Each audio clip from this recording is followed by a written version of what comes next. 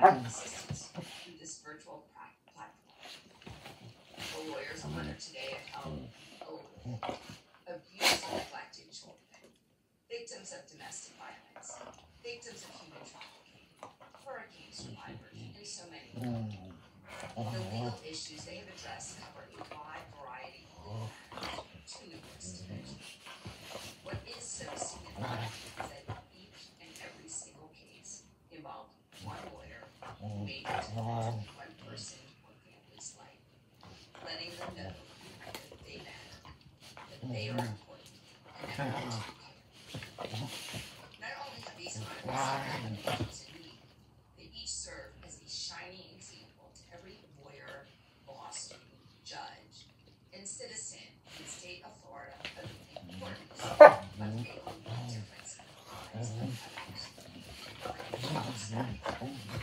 And the power a lawyer has to do just that.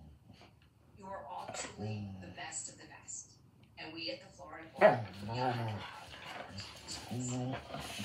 I could not let today pass without also